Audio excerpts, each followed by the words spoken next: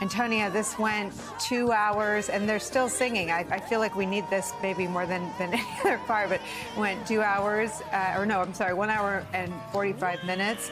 Um, family, I, I, have to just start with the family. Our colleague, the Rev, uh, delivered an extraordinary eulogy. We'll, we'll play some of that for our viewers. The Vice President, some extraordinary remarks, but it's always the family that stands there in the moment of the unthinkable and um, sort of brings the house down with their strength and their courage to stand there and talk about what this is like. Your thoughts?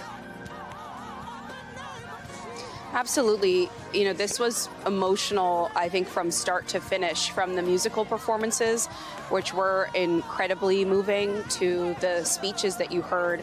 Um, and, and we had a sense from our reporting of how this was going to all be brought together and handled because they wanted the focus on Tyre Nichols' life. It's a celebration of him. We saw some new photos of him that we hadn't seen before. We saw some of his photography, so much of the life that he lived and the fun that he liked to have when he was skating or hanging out with friends. And you know, some of that was you know material we hadn't seen of him before in recent days. Uh, but anyone who's spent time in a black historic church knows that no matter what, you're always going to get a message. And as I've been talking to people who have surrounded the family in the last couple days, they wanted to make sure that his life was not lost in vain, that there was a call to action, that people would come and know that supporting Tyre and the family means a lot more than just condolences and well wishes to them, that they want to see forward movement in the form of, in the words of the vice president, you know, the passing of the George Floyd Justice and Policing Act.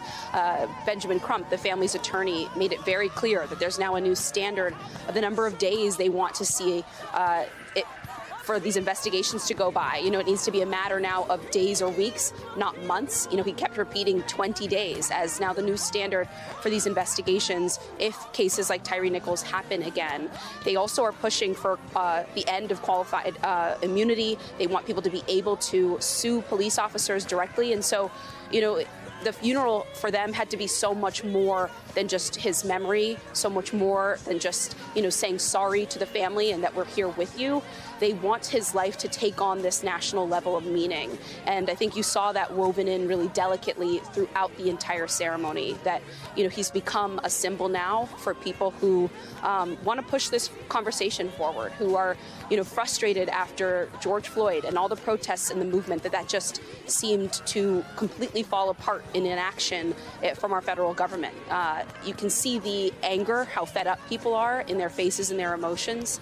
Um, and all of that was so present right there on the surface throughout a ceremony that was still ultimately about celebrating his life. But um, it's coming at this fascinating time, too, Nicolle, where there is this push still on the investigation front too, and we heard them touch on that as well.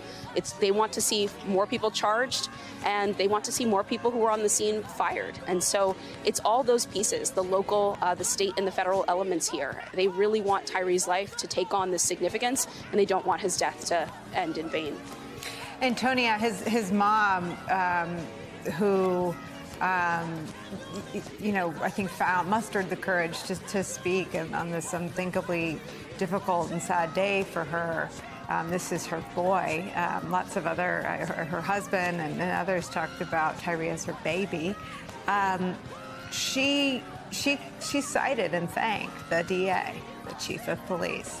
Um, she, she called out the state, uh, but, but I, I, I hear in her also, you know, don't stop right?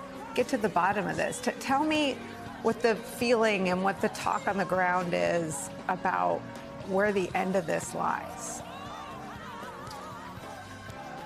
You know, those emotions are complicated, Nicolle, because there is this gratitude toward the DA, DA Mulroy, toward the Chief of Police, uh, Davis, and people give them credit here on the ground for the pace of this investigation, for their transparency, their willingness to answer questions from reporters.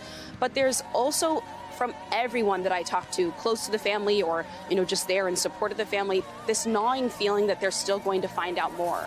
And I think a good example of that is some of our new reporting at NBC. We got copies of these five police officers' uh, records, and four of the five have histories of infractions, and they range from, you know, not filling out paperwork, important paperwork properly, to use of force issues, to one of the examples that stood out to me, you know, as just one of those moments where you're thinking to yourself, uh, you can't make this up, Nicolle, is that one of the five officers was put on leave for two days and had to go to a remedial driving school because they drove so recklessly they caused a three car crash as they were headed to a scene one night. And you remember the whole, you know, apparently precipitating action before this stop was that Tyre Nichols had driven recklessly. We have no evidence that that happened, but that was the allegation.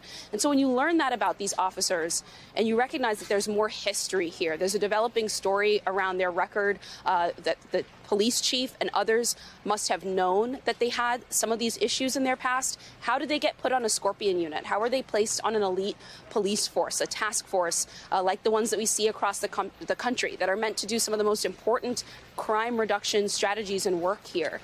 You know, and so when you see that and these additional stories come out, you know, Deon Hampton reporting just the other day that they, that some of these officers had been in incredibly violent incidents with other community members in the past. As we find more out, I think that we're going to see additional questions, and that's why the family is leaving the door open and the push open for whatever additional names come out, what other people we find out may have been on the scene or involved in the police report that they said was false, a, a false picture painted of their son initially they are going to be calling for those people to be held accountable, whether that's through firings and administrative changes or that's through additional charges, Nicolle. The, the Rev picked up on this message as well, um, Antonia. Let me play some of that for our viewers. In the city that Dr. King lost his life, not far away from that balcony, you beat a brother to death. There's nothing more insulting and offensive to those of us that fight to open doors, that you walk through those doors and act like the folks we had to fight for to get you through them doors.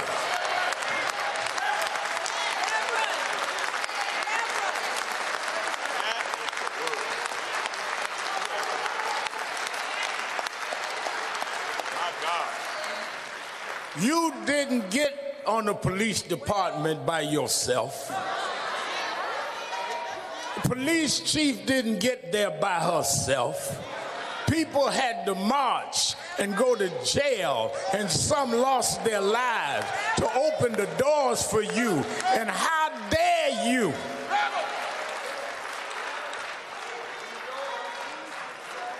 Act like that sacrifice was enough for nothing. You ain't in no New England state, you in Tennessee. Where we had to fight for you. And you take that position. I want to bring David Henderson into our coverage. Um, David, the, the Rev, as he started to do on Friday when we were around this table, um, very much going there, speaking to something Antonia has talked about since the earliest hours after the details of this tragedy were known. Absolutely. And Nicolle, here's the thing you can't start off with a clip from Sam Cooke, a rendition of his song, A Change is Going to Come, and expect from my mind to not immediately go there because yeah. it balances out exactly what we're talking about here. Also, at Tyre's mom expressing hope and optimism as a civil rights advocate. I have to use that to tell myself I have no excuse not to be optimistic. But also, part of what we have to do here is relieve the family of the burden of objectivity that the rest of us need to maintain. Because the truth is, the response that we've received from Memphis Police Department has been woefully inadequate if you look at the totality of what it is that they are saying. So, you have this unit that you sent mm. out to do an aggressive form of policing that was violent, and there's pride prior indication that you knew that the people who ultimately beat Tyre to death were violent.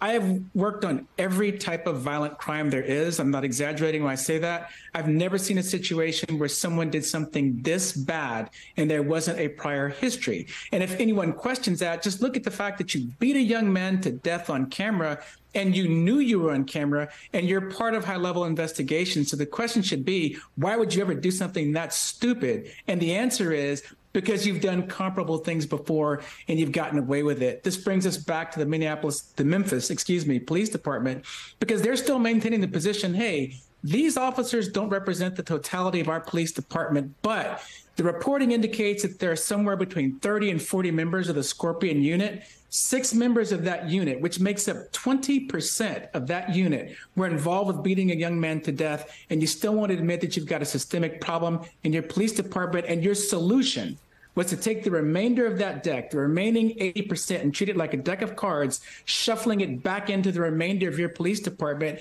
And you have the nerve to suggest that that is progress. At the very least, we should have seen an internal audit of the Scorpion unit before it was disbanded.